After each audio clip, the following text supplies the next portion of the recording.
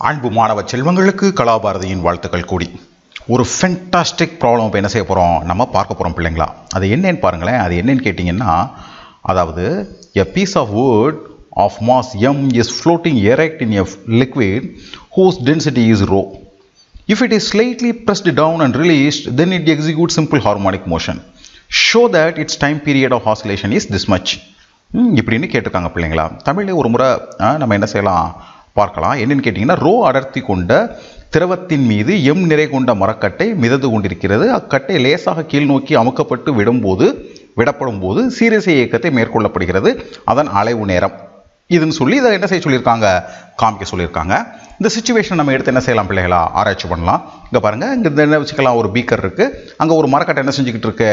இந்த மாதிரி மரக்கட்டை மிதந்துக்கிட்டு இருக்கு. சரிங்களா? இது அதனுடைய மீன் பொசிஷன் வச்சுக்கலாம்.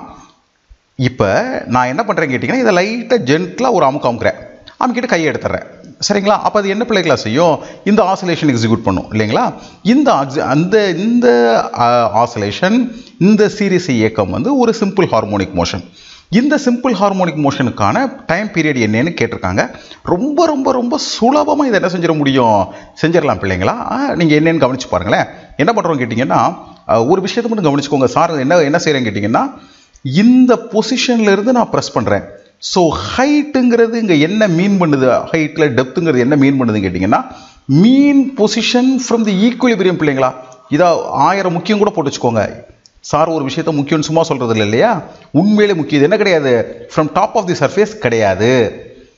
ஈக்குவிலி ஈக்குலிபிரியம் சமநிலையில் எந்த இடத்துல இருக்கோ அந்த இடத்துல இருந்து சமநிலையில் இருக்கும் இந்த இடத்துல இருக்குன்னா இந்த இடத்துல இருந்து எவ்வளோ தூரம் உள்ளே நீங்கள் அமுக்குனீங்களோ அது ஹெச் ரைட் அதுக்கப்புறம் அது ஆசிலேட் ஆக ஆரம்பிச்சுன்னா it becomes variable about the mean position அது எந்த இடத்துல ஈக்குலிபிரியம் இருக்கோ அந்த மீன் பொசிஷன்லேருந்து ஹெச் நமக்கு என்ன தெரியும் கேட்டிங்கன்னா ஒரு லிக்விடில் ஃபோர்ஸ் எப்படி கண்டுபிடிக்கலாம்னா சிம்பிளாக கண்டுபிடிச்சிடலாம். Rho into g into H right இதுதான் நீங்கள் அமுக்கும் பொழுது அது மேலே செயல்படக்கூடிய ஃபோர்ஸ் இந்த ஃபோர்ஸ் பயான் ஃபோர்ஸ்னு சொல்லுவோம் இல்லையா?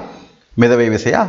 இல்லாட்டி பயான் ஃபோர்ஸ் இந்த பயோ பயான் ஃபோர்ஸ் வந்து இதுதான் இப்போ நம்மளுக்கு buoyant pressure buoyant pressure sorry பிள்ளைங்களா ஃபோர்ஸ் இல்லை ப்ரெஷருங்கிறது தான். ஸோ இந்த ப்ரெஷர் இருக்கும் இந்த மரக்கட்டையுடைய கீழ்ப்பகுதி வந்து இதான் ஏரியா ஆஃப் கிராஸ் செக்ஷன் வச்சுக்கோங்களேன். இது மேலே இருந்து பார்த்தீங்கன்னா சே ஒரு உருளைன்னு வச்சுக்கிட்டிங்கன்னா மேலே இருந்து பார்த்தா இப்படி தெரியும் இல்லைங்களா?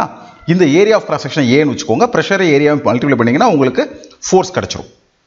ரைட் ஒன்ஸ் ஃபோர்ஸ் உங்களுக்கு தெரிஞ்சிருச்சுன்னா நம்மளுக்கு ஃபோர்ஸ்க்கான ஜெனரல் ஈக்குவேஷன் தெரியும். This is M into A ஆக்சுவலாக பிள்ளைங்களுக்கு நான் சார் மைனஸ் போடணும். ஏன்னா உங்களுடைய இந்த ஹெச் டிஸ்பிளேஸ்மெண்ட்டும் ஃபோர்ஸும் ரிவர்ஸில் இருக்கும். நான் இந்த இடத்துல போடலை. ஏன்னா என்னுடைய நோக்கம் வந்து வெறுமனே என்னது? ஃப்ரீக்வன்சியும் டைம் கண்டுபிடிக்கிறதுனால நான் மைனஸ் என்ன செய்யலை? போடலை. அது உள்ளுணர்வாக நான் என்ன செஞ்சுக்கிட்டேன்? எடுத்துக்கிட்டேன்.